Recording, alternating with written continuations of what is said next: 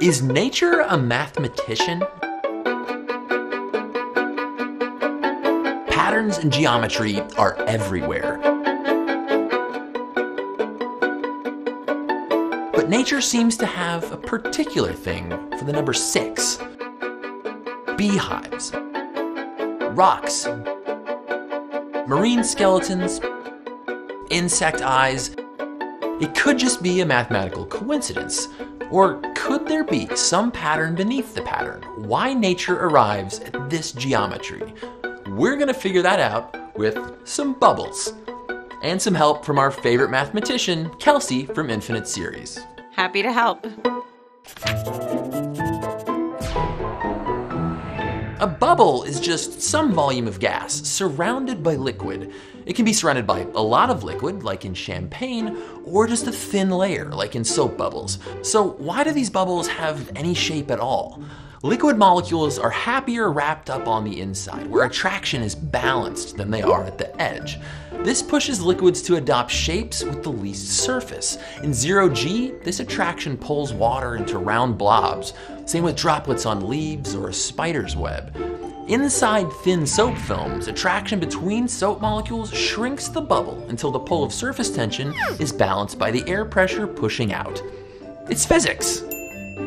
Physics is great, but mathematics is truly the universal language. Bubbles are round because if you enclose the maximum volume with the least surface area, a sphere is the most efficient shape. Yeah, that's another way of putting it. What's cool is if we deform that bubble, the pull of surface tension always evens back out to the minimal surface shape. This even works when soap films are stretched between complex boundaries. They always cover an area using the least amount of material. That's why German architect Frei Otto used soap films to model ideal roof shapes for his exotic constructions. Now let's see what happens when we start to pack bubbles together. A sphere is a three dimensional shape. But when we pack bubbles in a single layer, we really only have to look at the cross section, a circle. Rigid circles of equal diameter can cover at most 90% of the area on a plane. But luckily, bubbles aren't rigid. Let's pretend for a moment these bubbles were free to choose any shape they wanted. If we want to tile a plane with cells of equal size and no wasted area, we only have three regular polygons to choose from triangles, squares, or hexagons. So, which is the best? We can test this with actual bubbles. Two equal sized bubbles, a flat intersection. Three, and we get walls meeting at 120 degrees. But when we add a fourth, instead of a square intersection, the bubbles will always rearrange themselves so their intersections are 120 degrees, the same angle that defines a hexagon. If the goal is to minimize the perimeter for a given area, it turns out that the hexagonal packing beats triangles and squares. In other words, more filling with fewer edges. In the late 19th century, Belgian physicist Joseph Plateau calculated that junctions of 120 degrees are also the most mechanically stable arrangement, where the forces on the films are all in balance. That's why bubble rafts form hexagon patterns. Not only does it minimize the perimeter, the pull of surface tension in each direction is most mechanically stable. So, let's review. The air inside a bubble wants to fill the most area possible, but there's a force, surface tension, that wants to minimize the perimeter. And when bubbles join up, the best balance of fewer edges and mechanical stability is hexagonal packing. Is this enough to explain some of those six sided patterns we see in nature? Basalt columns like Giant's Causeway, Devil's Postpile, and the plains of Catan form from slowly cooling lava. Cooling pulls the rock to fill less space, just like surface tension pulls on a soap film.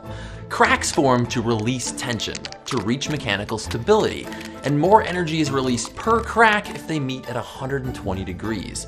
Sounds pretty close to the bubbles. The forces are different, but it's using similar math to solve a similar problem. What about the facets of an insect's eye? Here, instead of a physical force like in the bubble or the rock, evolution is the driver. Maximum light sensing area? That's good for the insect, but so is minimizing the amount of cell material around the edges. Just like the bubbles, the best shapes are hexagons. What's even cooler, if you look down at the bottom of each facet, there's a cluster of four cone cells packed just like bubbles are. Bubbles can even help explain honeycomb. It'll be nice to imagine number crunching bees experimenting with triangles and squares and realizing hexagons are the most efficient balance of wax to area. But with a brain the size of a poppy seed, they're no mathematicians. It turns out honeybees make round wax cells at first, and as the wax is softened by heat from busy bees, it's pulled by surface tension into stable hexagonal shapes, just like our bubbles. So is nature a mathematician? Some scientists might say nature loves efficiency, or maybe that nature seeks out the lowest energy. And some people might say nature follows the rules of mathematics. However, you look at it, nature definitely has a way of using simple rules to create elegant solutions. Stay curious. So that's how nature arrives at the optimal solution for three dimensional bees. But you know how mathematicians love to take things to the next level. What would the honeycomb look like for a four dimensional bee? Follow me over to Infinite Series, and me and Joe will comb through the math.